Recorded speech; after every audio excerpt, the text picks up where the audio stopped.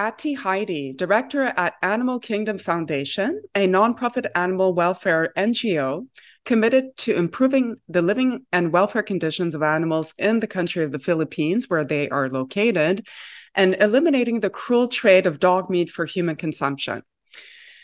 Our talk today will focus primarily on AKF's investigative work and campaigns to end the very cruel dog meat trade in the Philippines. Animal Kingdom Foundation was founded in 2002 by the late Charles Leslie Wartenberg, driven by his love for animals. It started with Charles learning about the horrors of the cruel dog meat trade in the country and about how common of a practice it is in the provinces. Troubled by this cruel act, he arranged a team that would help save the helpless dogs from slaughter and make the perpetrators liable for this cruelty.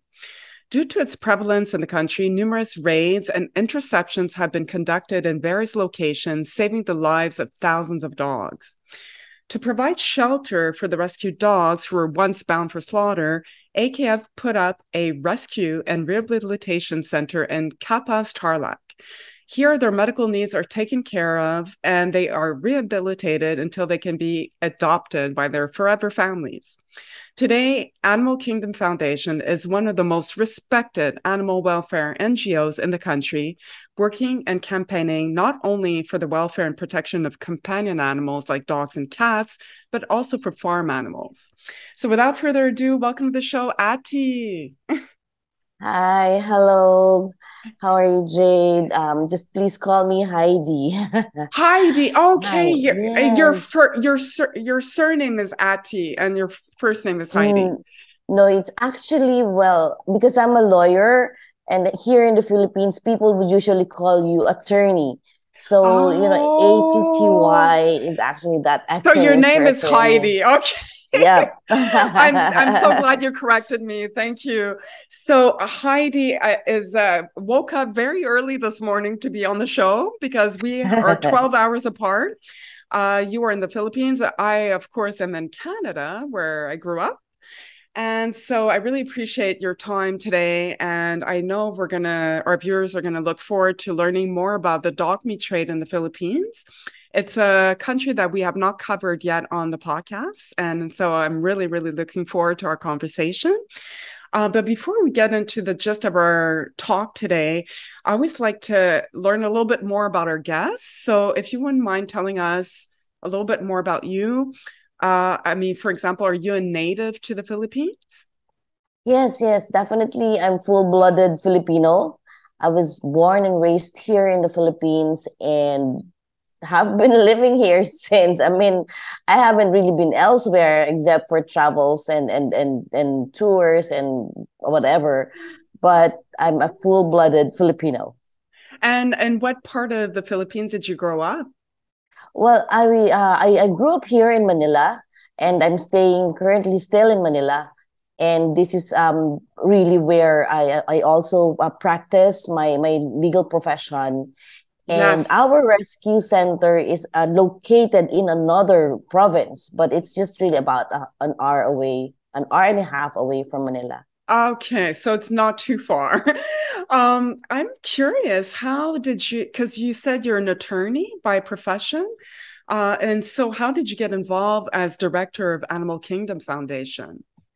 Well, um, so many years ago, so many years ago, um, Animal Kingdom Foundation was looking for a lawyer, and I was referred um, uh, to to work as a lawyer for the organization because I I think that at that time we were still organizing. Um, uh, a, uh, Animal Kingdom Foundation was really very uh, new at that time. Sometime I think in two thousand three. So I started organizing legally um, mm. the foundation, and then I was working on um, different policies. Um, and and if they would, um, the Charles would have some concerns or issues in relation to their raids or whatever, yes. he would also always consult me on that.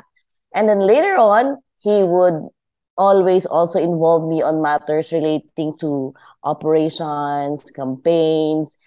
And he I, I don't know what he saw in me because I kept, you know, trying to run away or get away from him that no, no, that's not my job. But he keeps on, you know, trying to to to to tell me in a way that um I, I think he believes that I can do more than right. just, you know, putting legal perspective on what they do and advising them on some on, on legal aspects so that you mm, got mm. more involved that, that context point. i started yeah I was yeah I, got so involved in it and then i saw some avenues where we can improve animal welfare so i started suggesting and since i suggested it i had to work on it. Of course. So yeah so, and, so you know so so uh, that, that's I, how I, I really got so involved. That so i guess you've been involved from the beginning and in some respects you know they called upon your your legal expertise early on i imagine? Yes. Yes uh, yes yes in a way but not really from the beginning because they were um they they started already raiding while they're not really yet organized. Right. Um it started small. yeah yeah and seeing of course the the need for a legal entity to be established then um, yeah. and, and really become operational then that's where I came in. Yes, I can imagine how important it is to have a legal counsel when you're trying to, you know, like work with, you know, people that, you know, work outside the law and how to make them accountable. And you need to understand the legal framework, what you're allowed to do and what not. So I, I have no doubt you were invaluable. um, so I would uh, ask you, uh, what would you say are the most pressing animal rights issues in the Philippines at the moment? Um, right now, of course, other than the dog meat trade issue, um, I would think that you know that culture of neglect mm. among you know generally among among uh, pet owners or facility owners and operators that concept of neglect is so apparent and I, I think really needs to be addressed. Yeah. Um, they would uh, there's there's this lack of um, lack of empathy Care. and rec- yeah and and um, uh, acknowledgement that animals can feel and can suffer.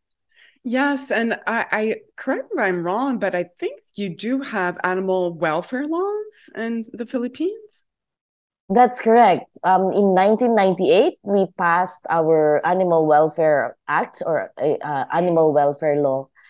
And I, I think we were, if not first, we were one of the first in Asia to even have an yes. animal welfare law.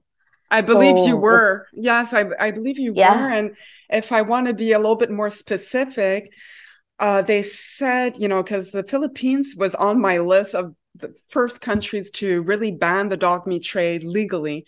And I believe it was um, the killing and selling of dogs for food was banned in the capital city of Manila, where you're from, in 1982. A similar ban was enacted nationally in 1998 with the Animal Welfare Act, Republic Act number 8485. And then the act prohibits killing dogs for food with minimum penalties. I mean, it's a thousand pesos, which is like the equivalent of about $22 US at the time. We're talking about 1998 and uh, not less than six months in prison. So that part is a little bit more, uh, you know, you know, uh, uh, uh severe. Uh, and then there was the Anti Rabies Act that was passed in 2007.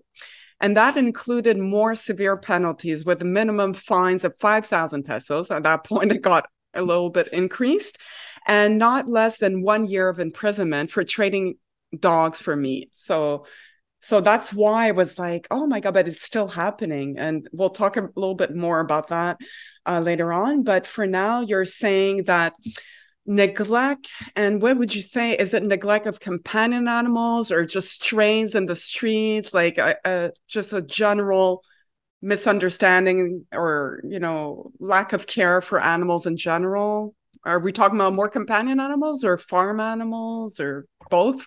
Yeah. Uh, yes um it, it's um i mean when i say neglect it's neglect both for pet um, for pet uh, animals as well as of course farm animals in general. Yeah. Um uh, I, I, guess again it, it boils down to um the animals not being recognized by or generally recognized by owners or the the general public that they also can feel and can suffer yes. but but jade can i just go back on the laws that yes. you mentioned a yes. while back please um, correct you mentioned me. that yes yes yes i just want to be um um uh, you're correct no we had that animal welfare act in 1998 that generally um prohibits all types of cruelty, maltreatment, and neglect for animals, but um, it did not specifically prohibit or ban the dog meat trade. Ah. It did not say ah. specifically that dog meat trade is illegal or something like that. But because the practice, um, of course, um, um, uh, entails the act of, uh, of, of cruelty, then still we can say that it, it's prohibited. Um, yes. But the un- but but the anti-rabies law specifically really mention yes. the the prohibition on the dog meat trade or the killing of animals for human consumption. And in fact, the law says that the local government units should prohibit it. And, and that's yeah. another, I think, that's, that's a, a gray area in the law, but it has not really been questioned legally. So it stays there. And we're using that really as a basis for us to, to to um, indict or prosecute um, dog meat traders. Right. So it's more the two, the one that was passed in 2007, and that's the Anti-Rabies Act.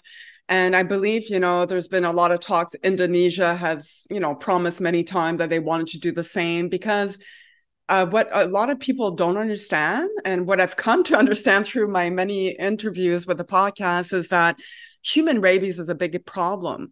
Um, and, you know, Southeast Asia, Indonesia, you know, all port, parts of Asia. And that is kind of directly correlated to the dog meat trade. I mean, the people in you know, involved in the trade, not so much the consumer of the dog meat once it's cooked, but the the people trading dogs. You know, a dog can have rabies and they can have cuts on their hands and they can become infected. And human rabies is fatal, so that's a big problem. Um, and so yes, at least you have that. But as I've also come to highlight on the show, is that you can have the best laws in the world but if they're not enforced you know unfortunately you know the dog meat trade does continue under the radar you know you know uh, underground if you will so um i will ask you next that um I guess the core focus of Animal Kingdom Foundation's campaign work today, would you say it's more focused on ending the dog cat meat trade or are there any yes. other areas of focus? Yes, our uh, core program is still the the end the dog meat trade campaign because um, if we are going to compare the Philippines as against the other Asian countries, I think we have been really very successful in reducing the trade. But as you can see, there's still um, pockets of these activities happening elsewhere. And what we are really doing right now is doing what we call cleansing trying to really um, identify these other areas that are still doing it and yeah. really put a stamp and and hopefully end the dog meat trade eventually. But other than this, of course, we have other programs that we have been doing because um, we believe that you know you cannot end cruelty the, the, the culture of cruelty in general just you know just what doing one campaign.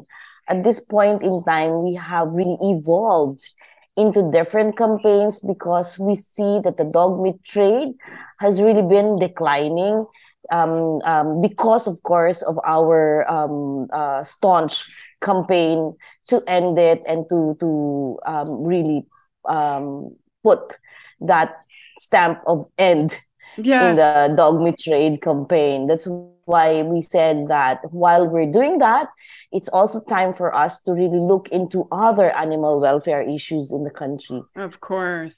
But I would I would agree that, you know, unless this trade is eradicated, it's hard to make you know progress into other you know areas of animal welfare for example farm animals uh, because you know like it or not we're more and more globalized you know people have a more and more of an understanding uh, whether it's influence from the west that dogs are companion animals. I mean they feel this animal sentience.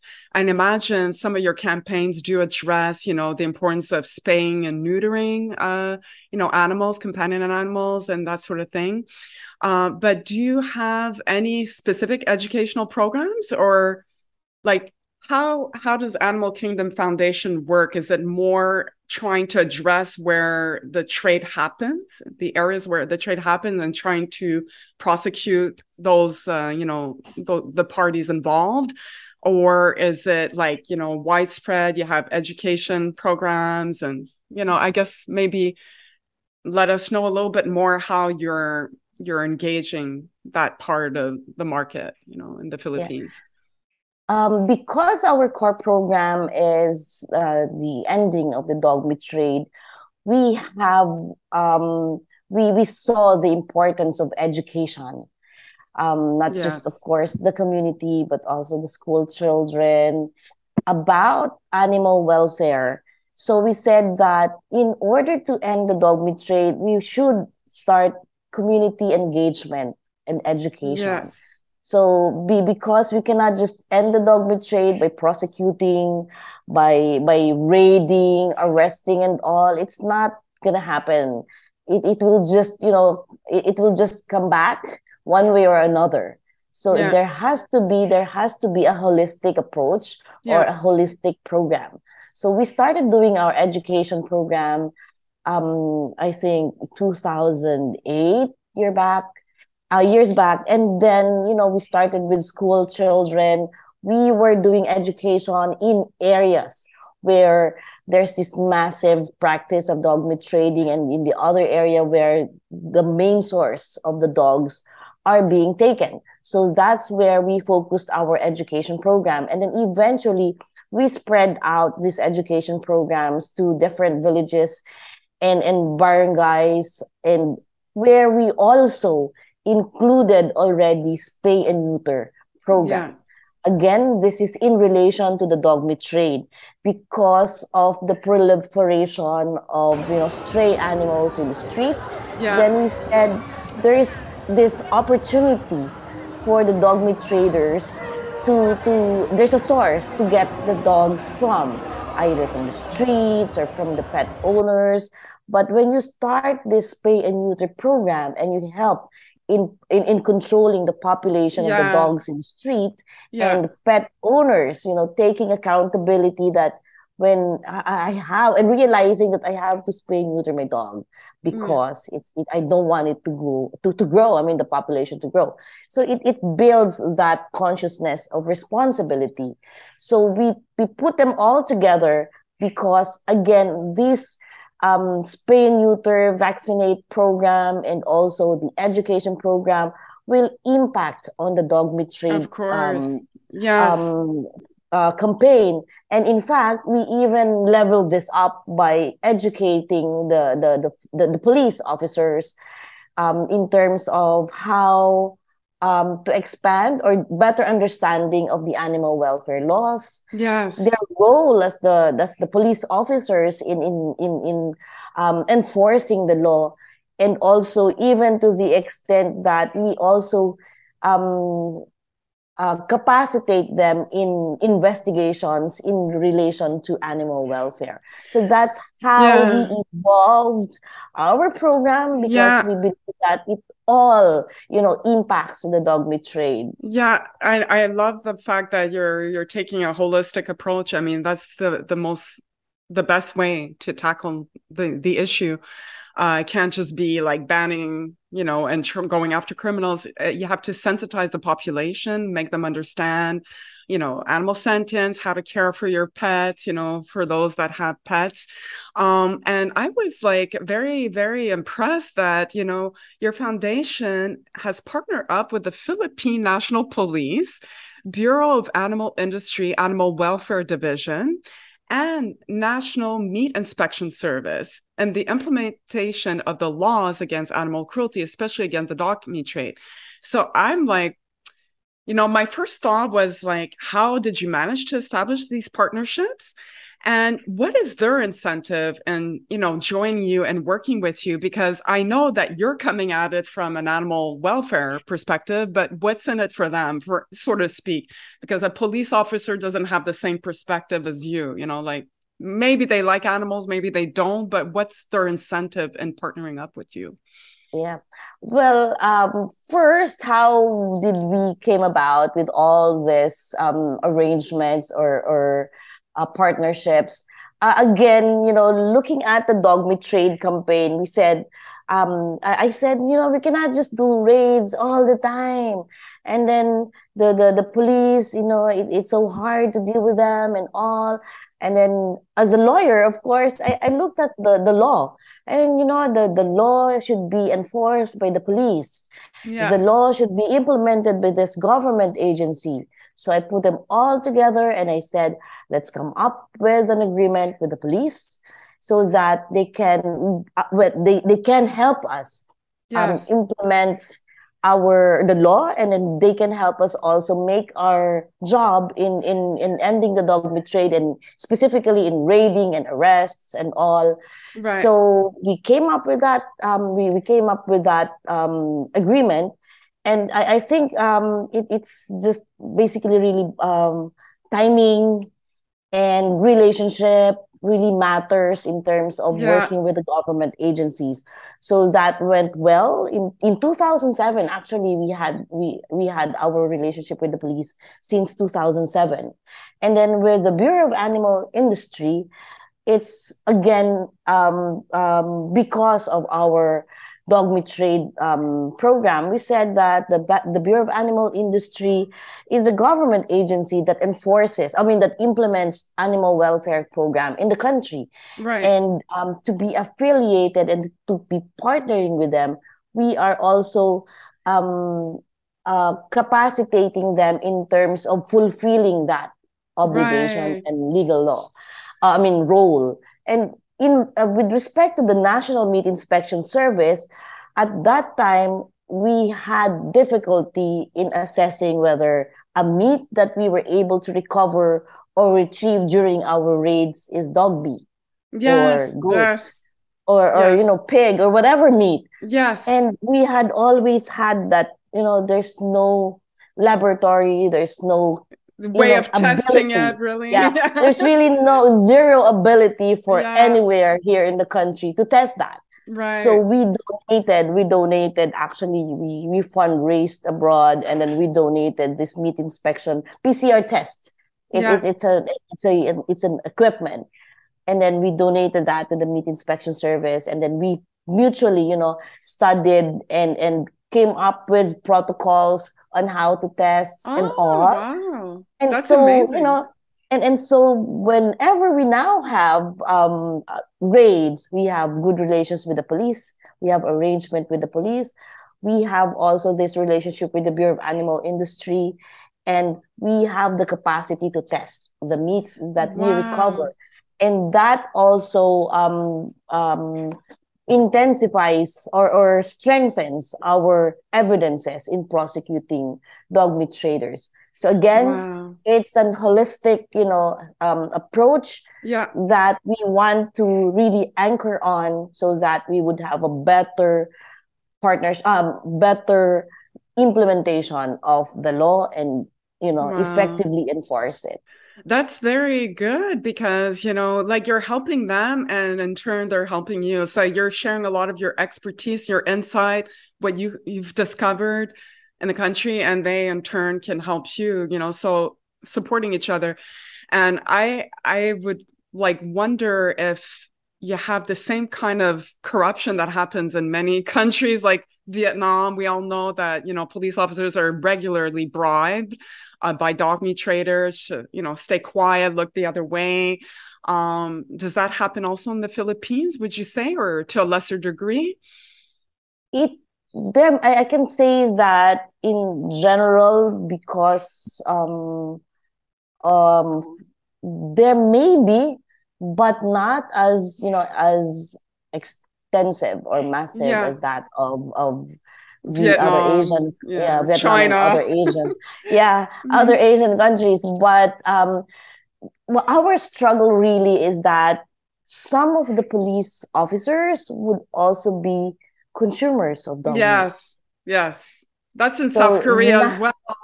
A lot yeah. of people in government they don't want to end the dog meat trade because they consume it themselves. They they believe in it, you know. So yeah it so it's it not harder. really much on it's not really much on corruption um but really more to that because yeah. in, you know um i'm not maybe there's maybe some degree of police protection mm. but because over the years we have been really partnering with them.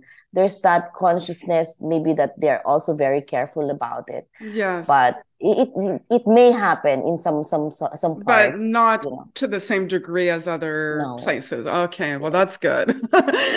Um i i was uh, wondering i mean there's so many things i have to ask you but i'm trying to keep a, a look at the clock as well Um, so we've covered that you do have educational programs and all that.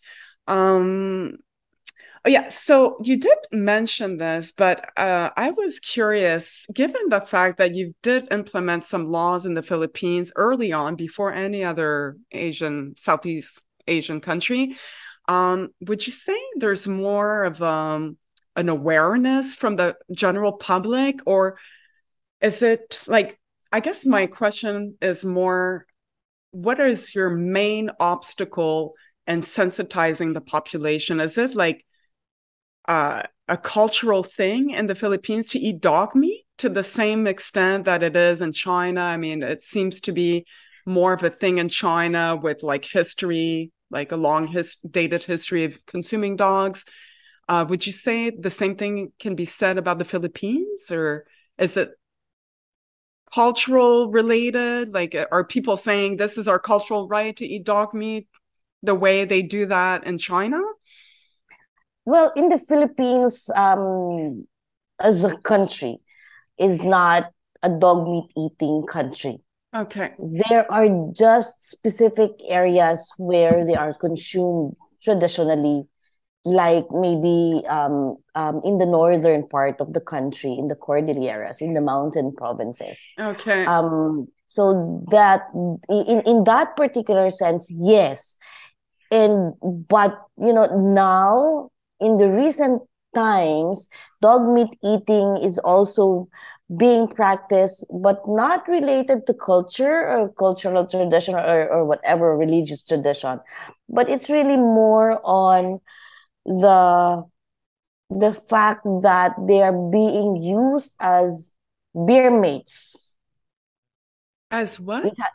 Beer mates. You know, when when you um drink alcoholic drinks and oh yeah, it's, it's like you're gonna have ribs and you know beer, but you're, you have dog meat and beer. Yeah, okay. so that you know the the the the, the consumption has yeah. evolved to that Okay. So while we can say that that Philippines is not really um does not really consume dogs as a cultural practice generally. Okay. There are pocket areas in the country that does it. Right. And there's a cultural um um history on it. Mm-hmm. But you know the the how it went and grows eventually over the years has nothing to do with culture or religious tradition. Okay. So would you say it has, you know, like I guess it doesn't have a long dated history of, you know, dog meat consumption in the Philippines. It, it's not something that's been happening for thousands of years, would you say? Or no? Yeah. No, no, no, it's not like that. Actually, well, um, the the history there is just about very recent, nineteen um 1900s or something. Okay. But yeah but you know it has something to do with a religious ritual where the dogs are being used or offered as a sacrifice. Mm. um and and you know the consumption is limited in that uh, tribe that you know celebrates or or practices this uh, ritual. Okay. Um so it, it's um, from this it again it just you know evolved to become a commercial okay um, yes yes. aspect. Yes. But from from but but because but because i think that the philippines in general is a pet loving country there's also an outcry locally yeah. to stop that that's why you know it, it's it's it's really like oh in that area in the northern part of the country they're just really you know dog meat eaters there. So it's right. it, it, it, it's bad because it has it has um um the the, the perception is that oh the philippines is, is really a dog meat eating country because of this tradition. But the truth is it's not. No. There's just really specific areas in the country and it's not really actually even um, majority. No. And so I don't know if you've conducted surveys like, you know, I don't know, uh, your foundation per se, or, you know, other go- government agencies would have conducted a survey with the population. And, you know, the survey would reveal that the majority of the population would be against dog meat. I, I'm assuming from what we you're telling not, me. Yeah, we Mm. did not do um, a, a national survey, Right. but we did a focus group discussion in in in one um in in in this um area. I'm referring to the northern part of the country. Uh, we did a focus group discussion because they're more into it and to see is it really uh, a cultural tradition or is it really um um prolific in in that Right. area and and to compare it to what we see what we read and what's happening really so we we've found out that most of the younger population the young parents now Mm. the, the the the younger generations are against it themselves Yes. and they're even embarrassed to be coming to be to be tagged as dog meat eaters from that province Right. because they said that we're not we're, we're dog lovers we're, we're, we're Exactly. pet lovers but because that of this stigma that you know that that had been uh, stamped on them then they carry on that label that they're dog meat eaters and they Right. don't like that so over the years um I, I said that you know if we stop the supply going up to that um city or province Yeah. then maybe it will stop. That's what we Yeah. were doing. We were stopping the supply um, from Ah. from that other province where it Yeah. supplies from these northern consumers. Oh, we wow. were stopping them from elsewhere so that the supply won't go up there. And then you know it Well, if it's not available, if you the consumption. hurt the demand, well, you can definitely uh, attack the supply side. Um, and I would, uh, I know one of my previous guests was mentioning because she's part uh, Philippine. Uh, she's from the Philippines, uh, but you know, half Filipino.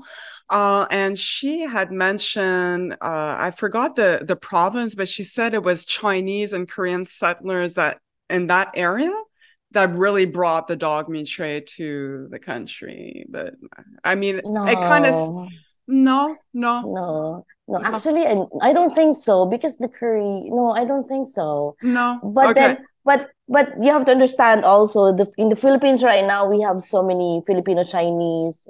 We, Yes. we have a lot of Chinese citizens that of has course, become Filipinos. of course. And there the Koreans are also coming in to the country already. There's a lot of Koreans.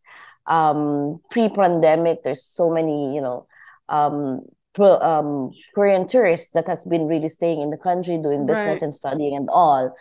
And we, uh, at that point in time, we also realized that there's an increase again in the dog meat consumption. Mhm. So, you know, and and um it, because again it, it for them it's it's legal in their country Yes, no, that's right. So they bring a little bit of that mentality and you know, like obviously it's it's going to continue. But um what would you say the main source of these dogs are mostly strays or is there a lot of, you know, pet theft in the country as well? um uh yes it's a combination of one stray dogs pet thefts yes and number three pet selling Pet selling. Are we talking about uh breeders for the pet industry that end up selling some of these dogs that are not, you know, um, meeting, you know, customer criteria or something? well fortunately it's not like that and I, I, No? don't I, I, you know, when, when that happens oh my gosh but fortunately it's not like that it's it's more of you know pet owners who may have you know five ten dogs in their house Oh, they would sell sell. for money. Okay, so more like for poverty reason. Yeah, Yeah. okay. yeah And, and So so they, they cannot just you know maybe try to to to handle. They cannot anymore afford maybe to handle so many dogs in houses, and so they just sell it. So anyone who goes around and and look for dogs for sale, then they just sell it. I mean, it's it's an opportunity to to earn income. to earn some extra income. And so, on that note, would you say that people involved in the trade are mostly in poverty stricken areas of the Philippines and they're doing it because they don't have any other you know kind of career opportunities. They lack education they lack skills and so they give in to the you know trading dogs for money because of lack of opportunity. Um early on in the philippines i think it's like that it's like that you know the poverty and the lack of other opportunities to earn income right um, um, you have to understand that when we were starting on the dog meat trade we were dealing with um, groups syndicates mm. that that really do this en masse oh. um, eventually during um, in, in our um, staunch rescue raids and and you know operations to, to, to stop these traders, we were able to, to arrest these major groups. We were able to make them stop.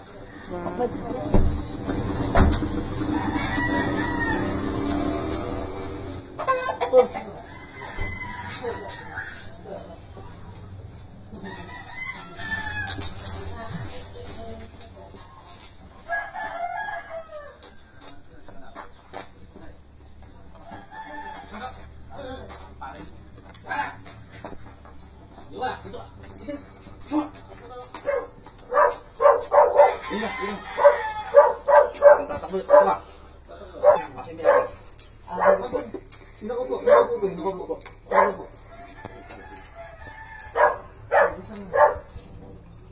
Dala kayo ah. Ano mo ibang aso? Ano mo ibang aso? Ano mo ibang buhay na aso? Asan? Asan? Ano pa? Asan? Asan? Tinan mo ito sa luka. Ano pwede kasama ako isa? Ito, tumungan ko na lang. Tumungan mo. Ito sila pa. Ito kuya, pwede pa kuha ng mga aso sa loob? Hindi, hawakan niya aso. Ayan. Hey baby.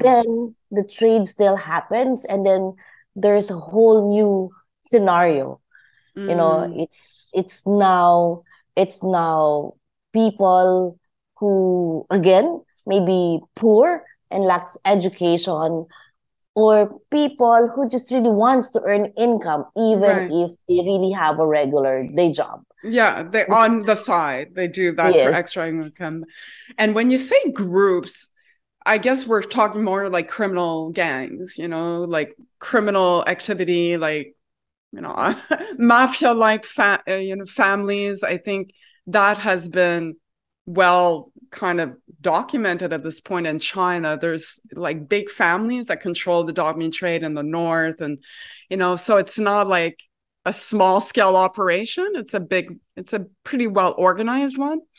Uh, so I guess it's similar a little bit in the Philippines? Yes. Yes, it, yeah. it was something like that. Like for example, in this particular province, the the whatever name would pop out as the the one that controls it in this area and in another province another right. and then here in the north are the financiers mm-hmm. so there's some kind of organization or organized yes. activity in wow. in the trade itself yes yes all right. Well, um, I'm still very impressed that you are the one who kind of made it possible to test what kind of meat it would be. I'll tell you something very quickly. I live in Montreal, Canada, and somebody uncovered that there was a dog meat trade happening right here in Montreal, and it's you know upheld by a you know a family, a Korean Chinese family um, and we were like, I'm an animal rights activist, and we were trying to find a way to link it to the sale point.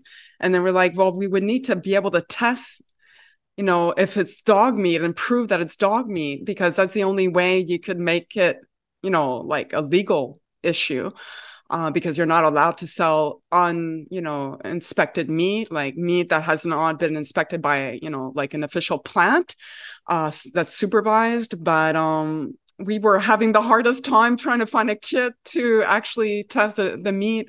So that's very impressive i'm very impressed by you. Um, and so let's talk a little bit about this rehabilitation center that you set up in Capas Tarlac. Tarlac is the province, Capas is, or I'm not even sure if I'm pronouncing it right. That's the city. yeah, um, Capas is the municipality. Well, there there's um strong campaign for it to become a city soon. Okay. So it may become it's a, a county. city. okay. Yes, in, in the near future, and Tarlac is the province where it is. And is it south, north? Like uh, It's it's um actually central. We call it Central Luzon because remember the Philippines is you know divided into three different Yes. major islands. So we're in Luzon, the the the the the, the upward island, and then we have also Visayas and then Mindanao, which is the south of the Philippines. And in Luzon, we're also divided into NCR or National Capital Region, where Manila is, Central Luzon, and different regions also. So we are the, the, the rescue center is in Central Luzon. Oh wow! And so, would you say it's it's like what year?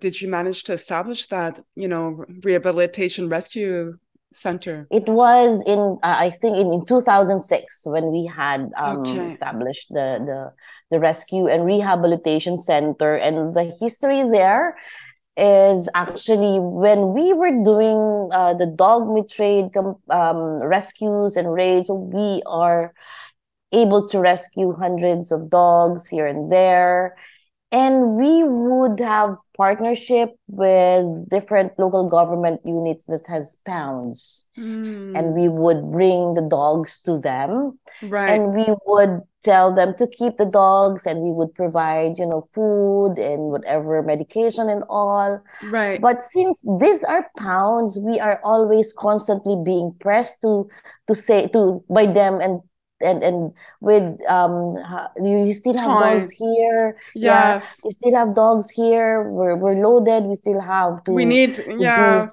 we need a space A pound is like that, you know, like okay, we've got 10 days, otherwise the dog's gonna be put down or you know, Yeah, yes. and it's so pressing because it it's happening every now and then. And then he Yes. said, I mean, Charles said we have to be able to get a rescue center. I mean, Yes. dumping all these rescues to the pounds is not helping because No.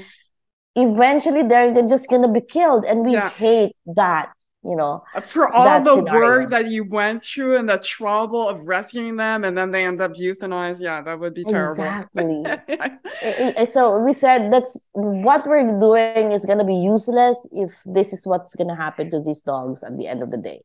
So Wow. in 2006, we had uh, established the Rescue and Rehabilitation Center, and it's in the Central Luzon because um, further is the North Luzon. I mean, that's where the consumption is, and South Luzon is where the the source is. So we're in the middle. Oh So, you know, so you're like the, the haven in the middle. Um, but uh yeah, uh, speaking of the consumption, would you say it's mostly consumed dog meat by older men or like what is the typical profile of a dog meat consumer, would you say? Yeah, I would think that they're being consumed more by men and middle-aged to older men hmm because you know I I'm I It's like that don't know in most countries, yeah. yes it, it's I, I think it has also something to do with machismo or Yes. or Virility. I mean, a Yeah, lot, there's a lot of links between apparent dog meat and virility. And I think, I think it was in South Korea when there was, um, you know, the Olympics, uh, and you know, I forgot it was the Winter Olympics, and I think some of the athletes had eaten dog meat, or some of them had eaten dog meat, and they tested positive for you know, uh, steroids or some. But Oh. anyways, they found out that they had injected that into the dog. So, so that's why, you know, like, yes, it will help virility if you're injecting, you know, those kind of steroids in the dog, you know, of course. But, um, yeah, no. So I mean, that's goes back to kind of these mythical beliefs that are not founded in science clearly, but correct you know that word to mouth it has you know come to become uh, part of their mindset and their belief system. But uh, so yeah. older men, yeah, yeah, older men. and we believe also that there was even a belief that when you have the skin issues in your body, yes, and then you eat dog meat, you you'll be cured of of of this. Mm. How do you problems. explain that? I said, "What? Like, what's the relationship? There's really no science to it." Oh, but I think maybe it would be related to the same reason why some doctors in South Korea, I mean, hopefully not anymore, but I I believe it still happens. They prescribe dog meat to patients recovering from surgery because they believe that the that you will heal quicker because a dog apparently if it gets a cut it heals very quickly compared to a human but i'm like if that's true then we should eat cheetahs if we want to run faster. I mean, it's just the logic defies me. I mean, anyways, it's it's uh, all part of the problem. I mean, all these like false beliefs and uh, it all feeds into it. But um, so going back to your center, um, I imagine it's not just run by volunteers. I imagine you have permanent staff there and you know you need a veterinarian or do you work with the local vet hospital? How does it work? Like when a dog is rescued and they they enter that facility what the what are the stages that the, the dog goes through before they can be adopted? Oh yeah. Um the moment that we bring dogs to the center they are immediately checked Yes. And you know, they they stay we have a quarantine area where they yes. they stay for a while for observation, treatment and all. And until the time that they get um uh spayed, neutered, and has completed whatever medication or vaccination that they, they are going through before they're even um, brought inside our central kennel um, facility and that's um, where they are actually being mingled with other dogs. Wow. So there, um, they are also being mingled according to their disposition. I mean, an age. Of course, the the the senior dogs would we would put them in a senior dog kennel. So that, right. that's you know we we classify them based also on their temperament. We yes. don't want to be combining um, a little um, dog, young, annoying. exactly. so that, that's how that's how we we do it, and then uh, to make sure also that we don't have dog fights exactly in, in, inside yes. the kennel. Yes. So that, that's how we, we do it. And then um, from time to time, um, the, the dogs are being checked based on again again on the, the initial findings. We have a clinic um, a very you know basic and small clinic in the center that really caters more on our rescues. We do have veterinarians and uh, veterinary technicians um, in the rescue center.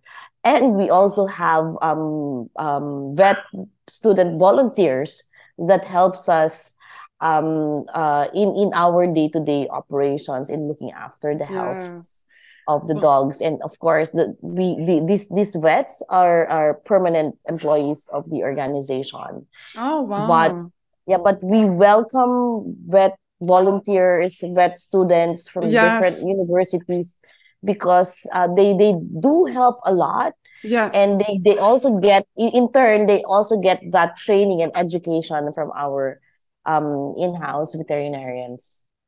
And what would you say? Um, are are these dogs once they're ready for adoption? Are you able to adopt them locally, or is that is that like how would you say like are most of the dogs uh, flown to the U.S. for example, or is it more local or Europe?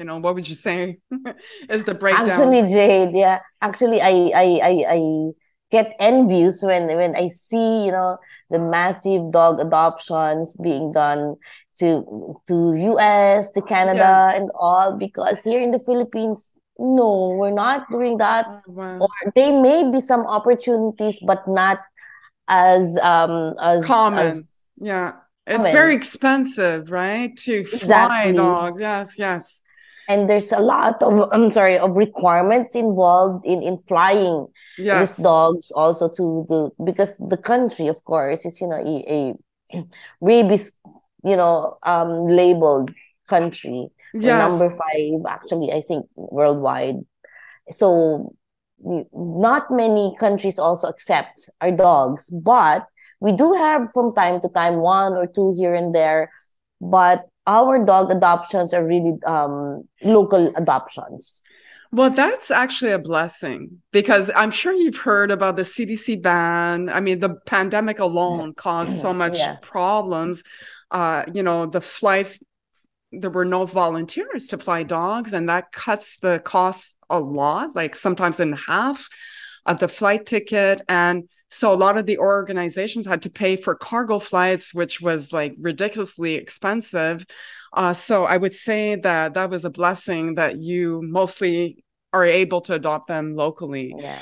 And would you say that um how many dogs at any time are in your shelter like is it hundreds or how many would you say yeah we when we were starting we used to be having thousands of dogs in the oh in wow okay in the center but then eventually you know as the years go by we started like really focusing on our adoption and we have reduced the population as well. Yeah. Right now we have over 200 now in yeah, over I think 200 in the center. No, sorry.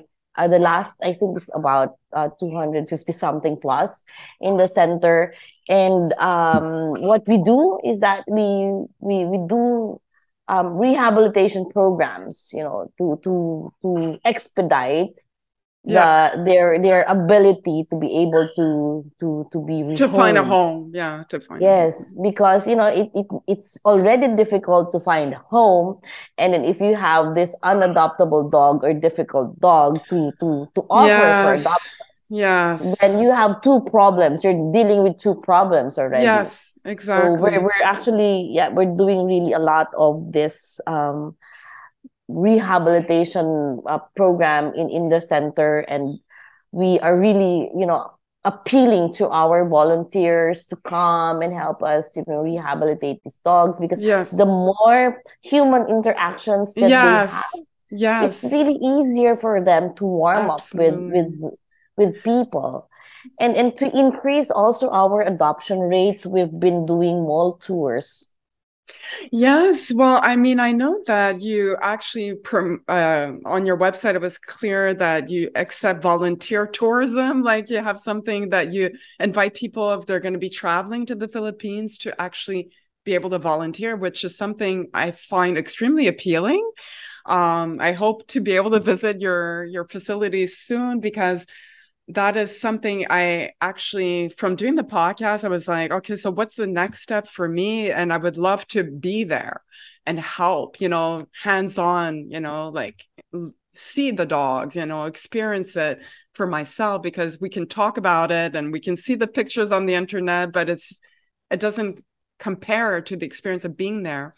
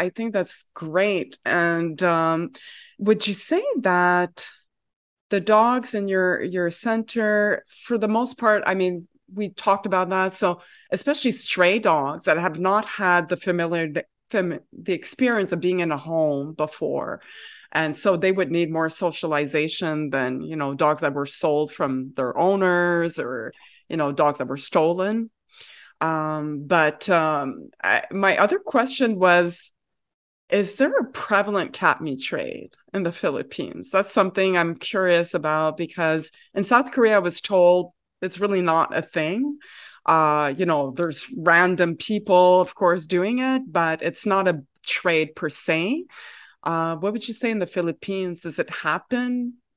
Uh, no. No, eh? Oh, also, yes, yay. So it's yeah, a no. at least the cats are safe. No. yeah. The cats are very safe here in the Philippines. So not really. I mean, there we we get some, you know, reports, but it's when we validate it, it's yeah, yeah it, it's baseless and it's not like massive or no. not even little or it's really very remote or Minimal. not even happening yeah well that's great news. I have two cats myself so i'm happy for them. Um now i guess i would you know okay we talked about that. Would you say that you know the same that happens in vietnam and indonesia in particular is that there's been a lot of vigilante justice taken by you know pet owners that have had their pets stolen. And so it's creating a lot of social unrest in vietnam in particular. I mean we see that happening on social media all the time. We see reports of you know people uh, confronting the dog meat trader the one that stole their pet and you know enacting vigilante justice would you say that that kind of thing happens a lot in the philippines as well or much less or? Well it, it's happening much much less. Yeah. and in fact uh, very recently actually we had that um vigilante if if if, if that's how you call it when he, this this um um individual confronted yes. and an, a, a man that she said is going to slaughter the the dog for for mm. human consumption for their consumption and you know we assisted the person legally gave advice and all but in terms of it really happening uh, or very popular it's not and no. you know in the philippines it's still the concept of you're the animal welfare organization you do it so it's just oh, like yeah, hey, they delegate to you. Yeah. hey, hey. They might call um, you like, can you take yeah. care of this for me? Please? Yeah. There's these two guys walking with a dog. Yeah. They're they're they're they're, they're I think I think they're going to kill it for for food and they're just walking their dog. So I oh, said, okay, wow. any other details, please? So you you're the you're the organization yeah, that does it. Then you, you do it. walking their dog. then you do it. You investigate. So I, I, think we're still on that stage. Okay. But you know, people really acting and that because that's what we want to happen we always say that animal welfare animal protection is yes. everybody's responsibility of it's course. not just us as an organization but it's everybody's responsibility it cannot be just you it has to be the community that comes together Correct. yes for the and greater that's why we good. said that yeah we, we we help you we capacitate you we assist yeah. you I'm, I'm on call 24 hours a day even right. just to give you advice on how to do it but you have to do it I cannot send my people here in Luzon to go to Mindanao to do that yeah. for you. No, no, that's right. You can't assume either. You know, there's a lot of, you know, prejudice, you know, in that, you know, so you don't want to assume the worst. um, and so I guess part of, you know, part of my question, and I think we touched upon it a little bit, but, you know, seeing that you're from the Philippines, like growing up did, did you witness anything related to dog meat or was it much later on as an adult that you got to hear from it about it well no actually as a young uh, as a young girl i was able to not witness this because i i refused to see it but i knew people who were really um really killing dogs for food in, mm. in our community even in the family, I mean, extended family, I've I've, I've heard that there, okay. you know, there's you were aware. of This. You were aware. I was really aware okay. of it, but I wasn't aware aware of it in the sense that, you know, it, it's so huge that it has to stop. I was aware of it, and I feel so bad. And then just that in my little mind at that time, I was hurt, but you know, it, it it it stays on there maybe yeah. that's why i'm doing this job right now because that that small seed of pain that yeah. was there yeah. started to grow as i was you know learning more yeah yeah and having more capability and having more um um learning and education how to do it so wow. maybe so th- th- that's why I, I didn't I, I was as I was telling you I didn't even want to do this. No, you know I, I just want to be a lawyer. like I want my life simple, and you know, in, in, fact, I always say my life would be so much simpler if I didn't know all of this. You know, ignorance is bliss, as they say. Uh, yeah, yes, right. But, but at the same time, I don't regret because I wouldn't exchange. You know, like if if there's anything I can do to help I have to do it. You know, like I feel like my life, what's the purpose of our lives if it's not to try to, you know, leave this world a better place than how we found it?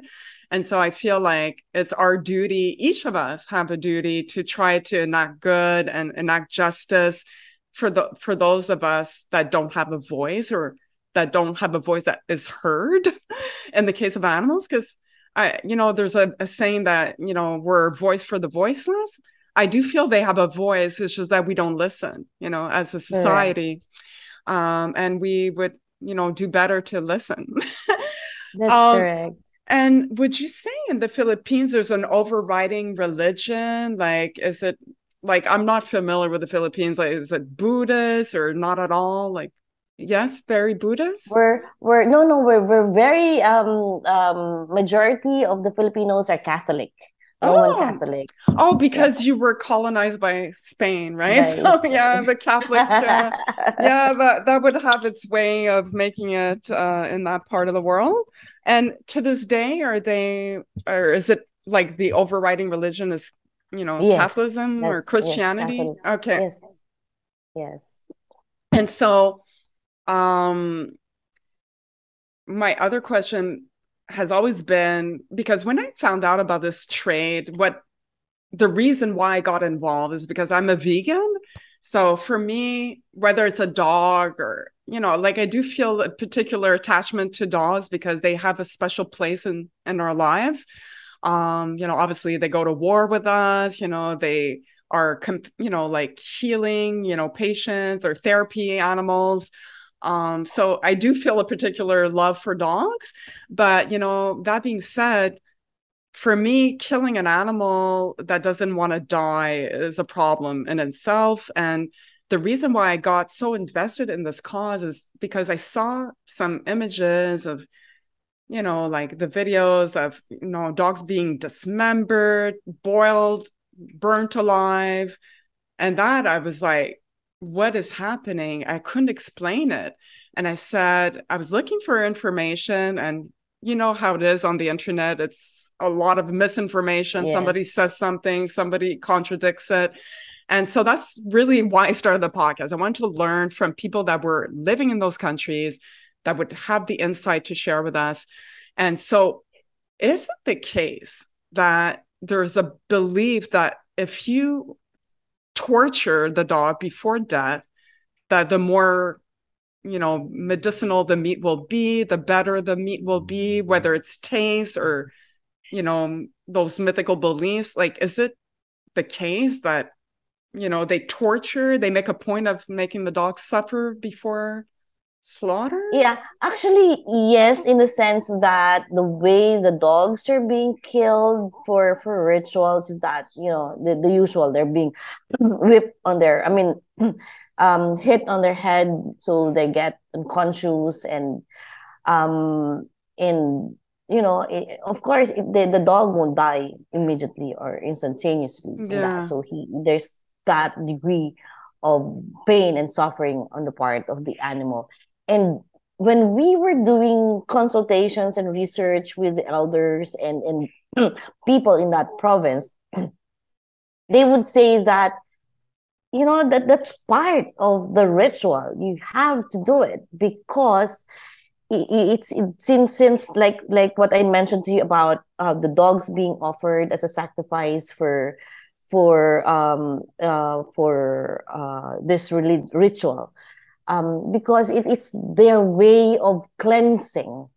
And okay um, but is that part of a religion of some sort? Yeah, it's well it's been you, you know in the philippines you may be catholic but there's still some influence of culture and tradition from whatever possibly tribe tribe that okay. you, you, you, came from. Oh that they make animal sacrifices you know that yes, that's part so, of their ritual. Okay yeah yes so in, in the philippines that's where really you know the the the the the, the slaughtering the killing of dogs mm. um really happens as a part of their tradition so yes that in a way is um linked maybe to their tradition that if you inflict pain to this animal then it, it helps in the cleansing also of the people oh, wow. that you know that that's witnessing or being yeah. offered to or even the spirit of the departed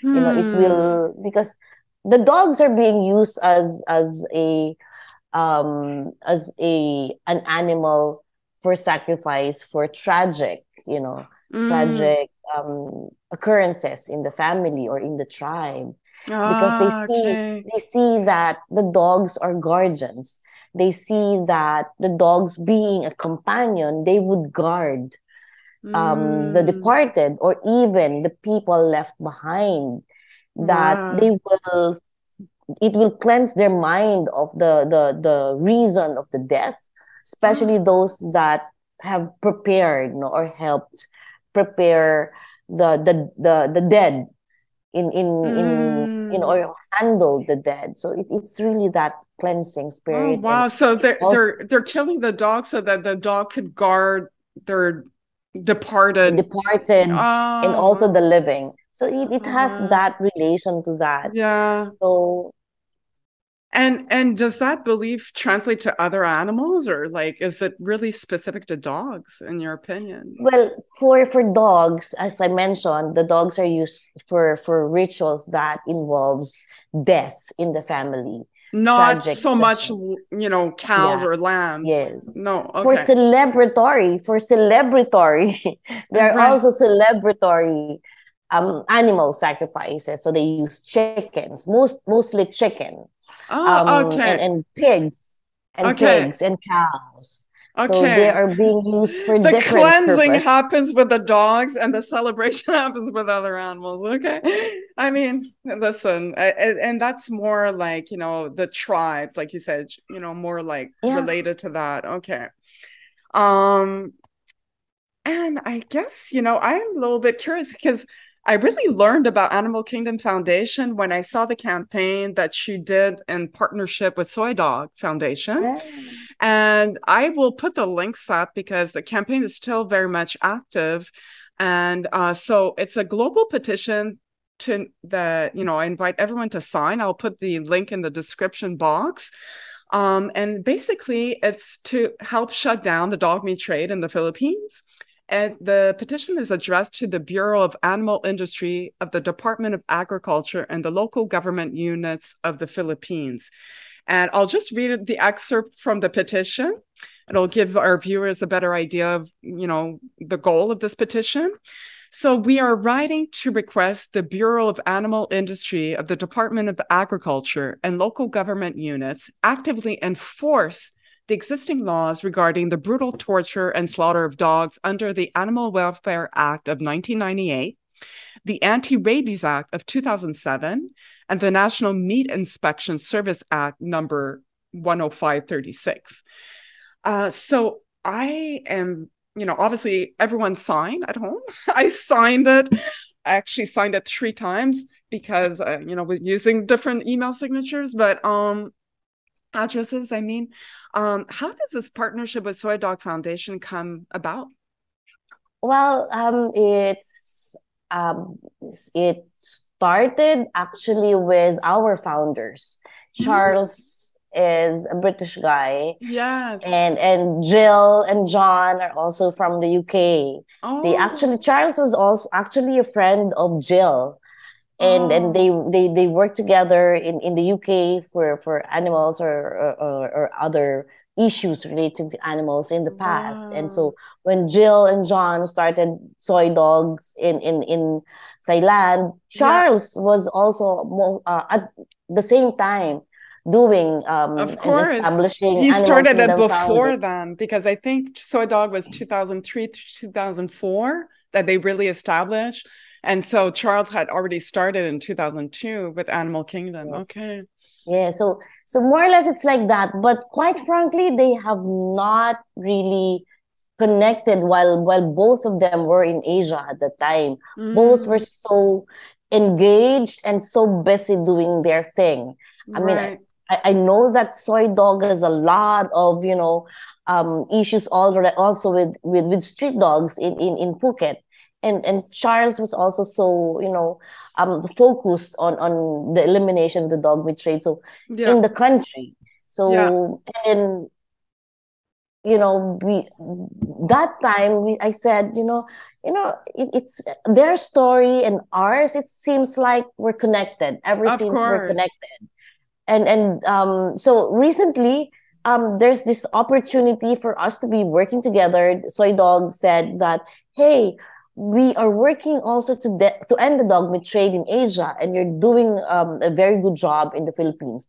So they said, where are you now, and how can we help and collaborate? Oh, so wow. it's a mutual, you know, um, agreement and understanding that we will collaborate in ending the dog meat trade here in the Philippines. We've shared our um, struggles and also our uh, successes, and uh, actually, quite frankly um, if you've seen the petition, we said to to to enforce it, right? Yeah. Because uh, as as we we were talking about a while ago, you know, we may have the law, but is it really actually being enforced and exactly. implemented? Which is another you know conversation to to, to be of course so so in, in that sense we said let okay let, let's let's bond together let's let's help end this and then let's also take the the successes of animal kingdom foundation and share it with the other asian countries that has dog meat trade. Yes. And and you know and highlight and then we learn from it and then we share exactly from, them how we're doing it. So you know with with all these things being discussed and i said you know uh, the dog meat trade is really just not a Philippine issue. It's an uh, uh, an Asian issue. So yeah, I'm I'm happy to to to be working together with Soi Dog. So that's how we oh, were able wow. to be, you know. Yeah, because um, you're establishing a model that others can follow. I mean, that's so important because you draw inspiration and actually, you know, concrete action that you can take and you know uh, copy in other countries. Um, I'm just curious, when did Charles pass away? Because the founder of uh, Animal Kingdom, he's no longer with us. Yes, he passed away December of 2017 in in oh, a okay. you know, in an accident at home. And it, it was sad because although he was becoming very sickly at that time, um, he was always very eager to come back here and work. And when he's here in the Philippines, he meets with people. He does his work. He's, he even does carpentry in the rescue center. You know, oh, he's wow. very active. He's very then, passionate. Course, yeah, he was very yeah, but passionate. then you know, he, he's not getting any younger, and we have been telling them him actually to to you know minimize his trip already because it's also taking a toll on his health and all.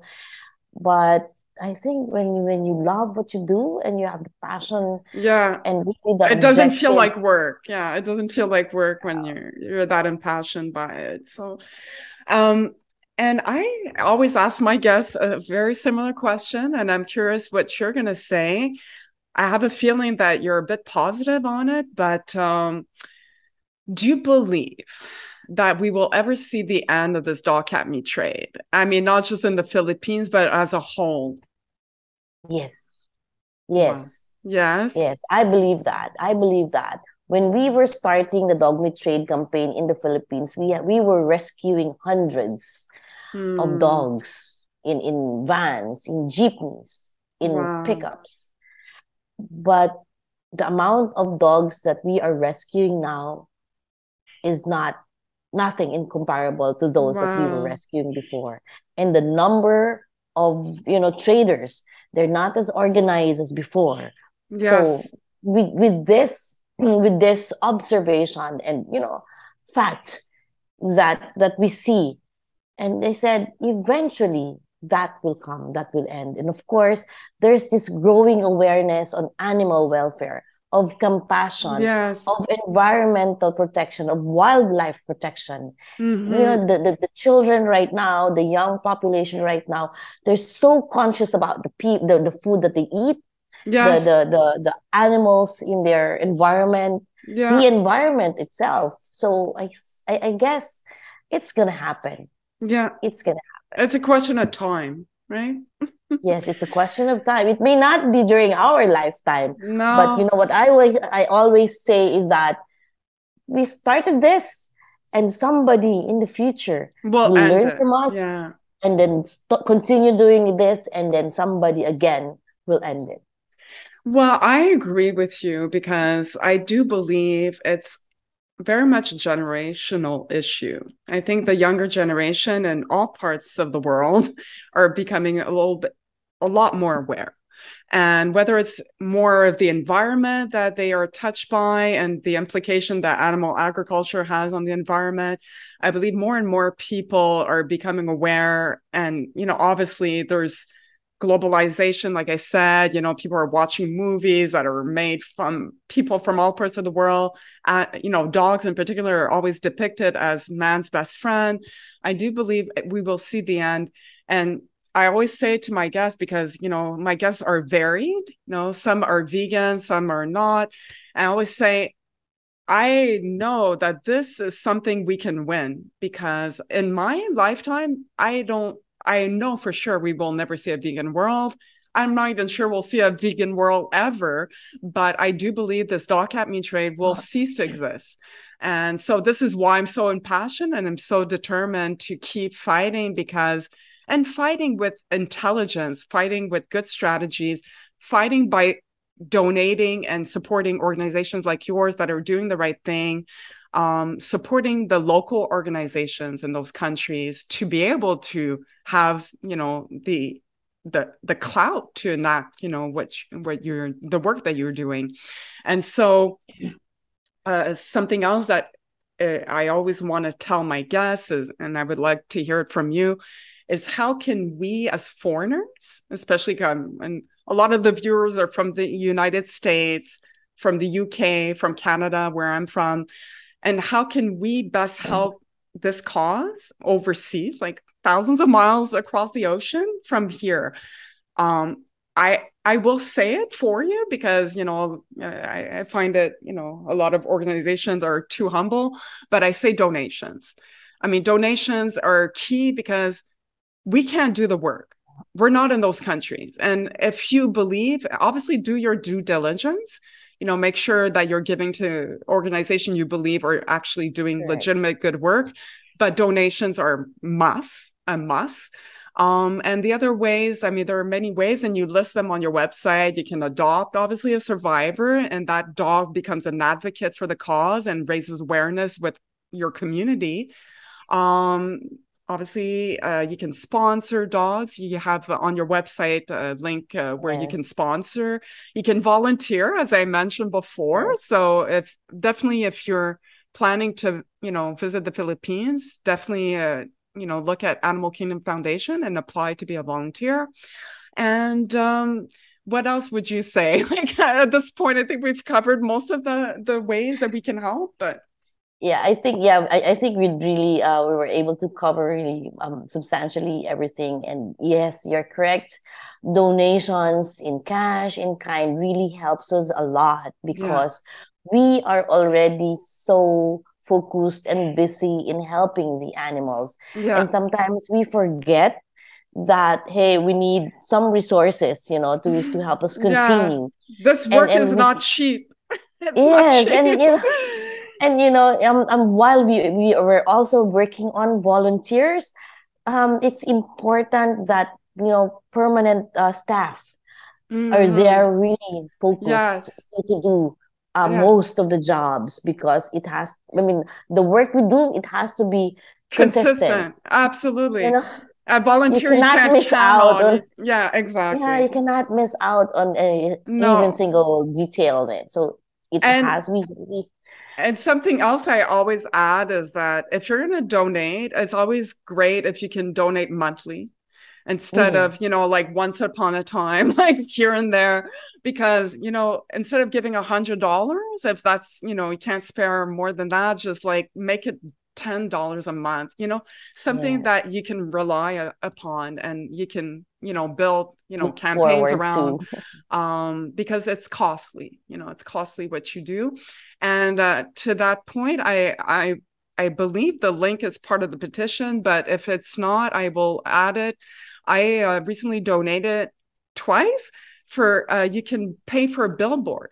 And our money our us or canadian dollars goes very far. So i mean i really really encourage it because the billboards speak for themselves and it raises awareness and it tells the country well listen we are aware of this issue and we're working together to end it. So i think that's beautiful. So Thank you so much, Heidi. I really appreciate Thank your time so today. It's been amazing learning from you. And, you know, I could keep talking to you forever, but, you know, in the interest of time, and you do have a, a lot of work on your plate. So we'll let you go. But uh, thank you so much. And I invite our viewers to obviously go look at the website, look at their social media pages, support, follow what they do, share, and donate, of course. Thank you. Thank you so much, Jade, for this opportunity. And thank you so much to, to your viewers. You're all amazing people. So please help us here in the Philippines, help Animal Kingdom Foundation and the dog meat trade. Absolutely. Amen to that. Have a wonderful day. Take care. And I'll let you know when this will uh, be released. Great. Awesome. Okay. Thank you so much, Jade. Thank you so much. Thank you, Heidi. Take care. Bye.